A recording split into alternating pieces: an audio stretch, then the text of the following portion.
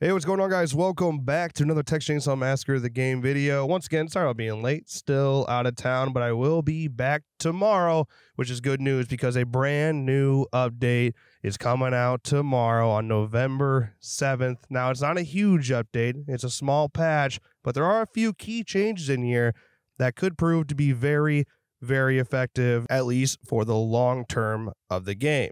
So let's go ahead and dive right into these patch notes. First of all, fixed Nicotero Leatherface's interaction audio. We have fixed an issue where Nicotero Leatherface's audio defaulted back to the original chainsaw sound during scripted interactions. And on top of that, they fixed Nicotero Leatherface's chainsaw dance audio where it was doing the same thing. It was the original audio sound and not that brand new sound that was a part of the DLC. Now, not a huge change here, but it's nice that this is fixed. You pay $16 for a DLC and the sound wasn't right. So glad they got that fixed. It's good to see. But let's move on to the juicy stuff. This is a big one right here. Fix gas station car exploit. We have fixed an exploit where players could crouch into the blue car near the tool shed on the gas station map. Players will no longer be able to enter the car.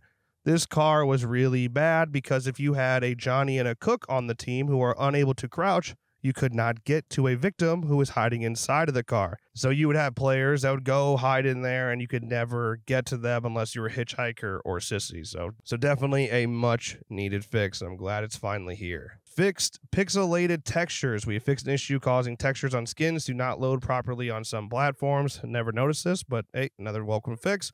And now the juicy stuff that I think is actually going to be pretty damn important for the long term. Changed player levels in lobbies. Player levels will now be hidden in lobbies and changed party icons in lobbies. Players who are partied up will no longer display party icons in lobbies. Party icon is no longer displayed in the player list, scoreboard, and match results. Now, what they're trying to do with these changes is to help with the lobby dodging problem that this game has where a family member leaves every single time and you're stuck waiting for another family member to join, and often they don't. It happens on the victim side too, of course, but it's worse with family because there's not enough people queuing. So one person leaves on family, and you're lucky to get another player before the countdown timer is at zero and the whole lobby ends. Now, this will not fix all the lobby dodging issues, right? There are people still dodging for maps, right? They don't go to the map that they like, or maybe they didn't get the character that they chose. However, I think a good portion of lobby dodging is a result of going into players that are not close in level,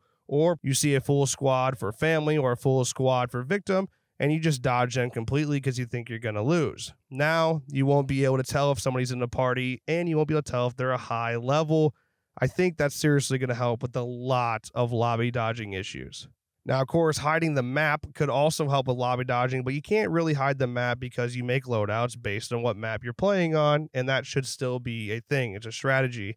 You shouldn't be limited and not be able to see the map just because people are dodging so much. And now, ideally, once a new map comes out, which now one has been announced, that should help a little bit with lobby dodging too, because you just have one more map in the mix as well. I'm all for this, right? We all want more content, but I think the biggest issue of the game right now was that lobby dodging element if you're playing victim, there was a lot of times where you could not get a game for 20, 30 minutes because the dodging was so bad. Hopefully, this patch leads to a substantial change when it comes to lobby dodging and we see a whole lot less of it. But we'll find out tomorrow. And of course, in the afternoon at some point, afternoon, evening, I will be live streaming. And we'll find out right away just how much this change actually affects lobby dodging. Now, of course, there are still a lot of things that need to be addressed and a lot of things that need to fix, and they know that. And they also said to keep your eye out for a new Muerto Times, which should give details on an upcoming update as well. So they're still doing fixes. Things are happening. Got DLC announced, a new patch. I like this. It's been a good like five days. We're on the grind. I'm excited to see it. TCM, I hope has a very, very long life. But that's my thoughts. Let me know yours in the comments below. But that's going to wrap this video. If you enjoyed, make sure you drop a like and subscribe to our channel for more videos like this one. And of course, as always, thank you guys so much for watching, and I'll see you in the next one.